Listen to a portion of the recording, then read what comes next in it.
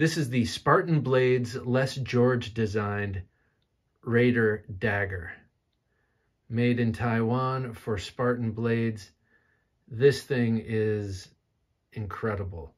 Uh, if you know Spartan Blades, they have a very, very high uh, stand, very high standards of quality and such. So uh, take all that into account. This is just an amazingly made blade. Uh, but also, if you know Les George's designs, he is a master of the dagger.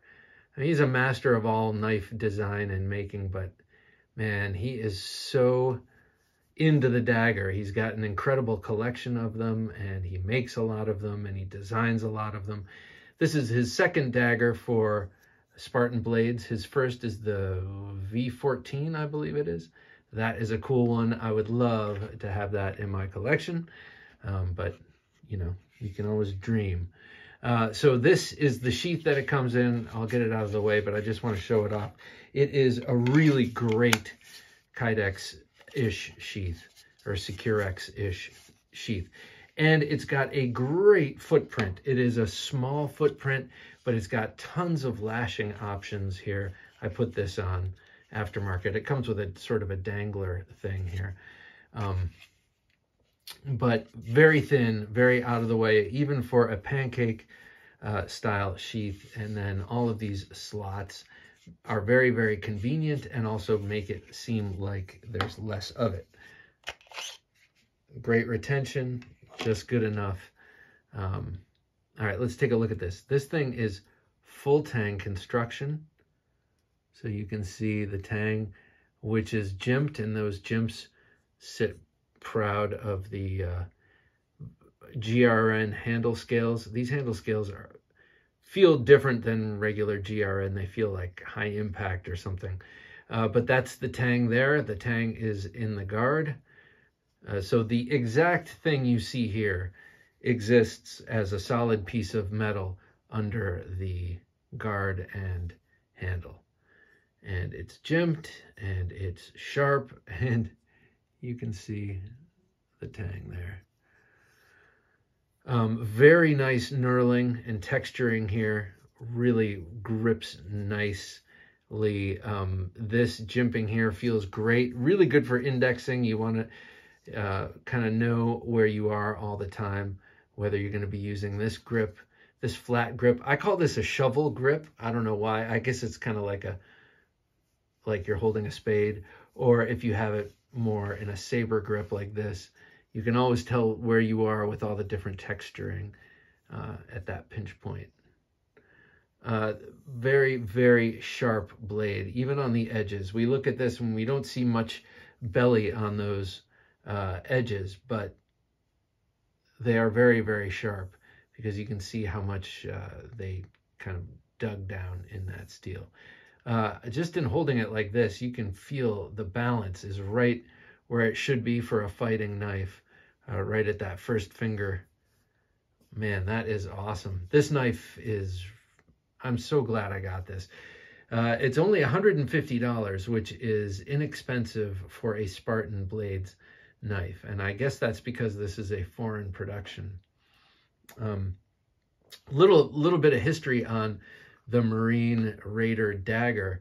Uh, so at the start of World War II, they had these 1918 trench knives with the big heavy uh, um, knuckle duster. I think this is bronze, cast bronze. These did not work out for very long because uh, they were built for mayhem and mayhem only. You know, this is this is great if you've if you've got a melee you need to fight. You got double-edged dagger here. You got this big attitude adjuster, and then you've got these horrifying knuckles, which, by the way, fit my hand perfectly, um, as opposed to more modern knuckles, which always feel a little bit large. But this feels great in hand. Uh, but this is not good for prying open crates and other, you know, doing other kind of general stuff. Uh, so this kind of went away. Also, it took a lot of strategic materials to make this heavy ass knife. So this, you know, required a lot of metal. So the Marines, I cannot remember the guy's name. I apologize, but I believe he was a colonel, and I'm not talking about Fairbairn or Sykes, but uh, they came up with a knife design based on the Fairbairn Sykes uh, model uh, that looked a little bit like this, so somewhere between these two, uh, but was very sensitive to the fact that materials were expensive and hard to come by and were needed for ordnance and airplanes and stuff. So they made the handle out of the new marine knife to replace this one out of uh, like a cast aluminum and then a very thin blade and they were known to break when they fell and um, and they were pretty much only good for killing people and uh, also not a very universal knife. So eventually they landed with the KA-BAR, um, which I think was based off a lot of the hunting knives that people were bringing with them, um, plus other things. But this is all three of these knives that I've shown you are gifts from my brother, and uh, and this one is was used. So was the other. So were the other two. Uh, all right, so that's what this is. This is a modern, better version of that original Marine uh, dagger, Raider dagger. All right, let me show it with a couple of others, uh, of other modern daggers. This is with my other Spartan Blades dagger wearing a beautiful Chattanooga leather uh, sheath. But this is the one designed by Bill Harsey, another master designer, maker. That's his maker's mark. It's a, it's a giant uh, pine tree.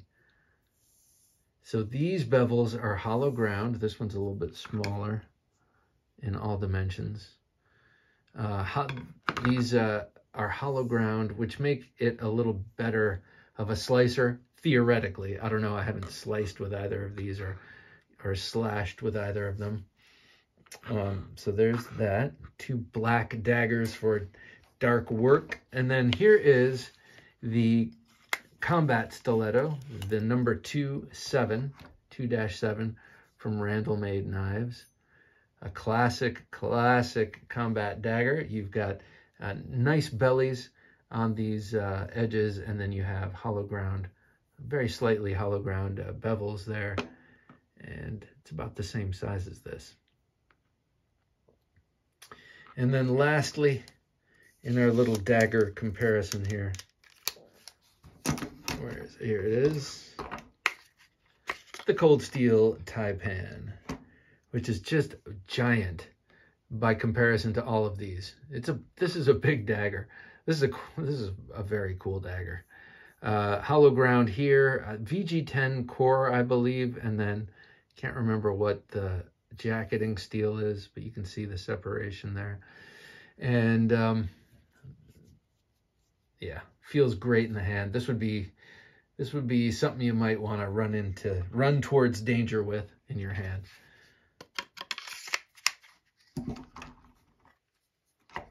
All right.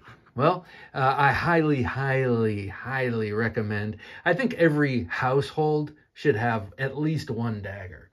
And if you're going to be a one dagger household, this one is a winner, I would say. Definitely go for it. This one is is very cool. And by the way, uh, with the, where did I put the sheath? Um, oh, here it is. With this sheath, it gives just enough retention that you can shake it up and down all day and it's not going to come out. But if you have it clipped to your sweatpants or your jogging shorts, you can tug on it and it comes out without pulling your pants up and giving you a wedgie. So perfect sheath, perfect knife. I love this thing. So highly recommend it. Thanks for watching.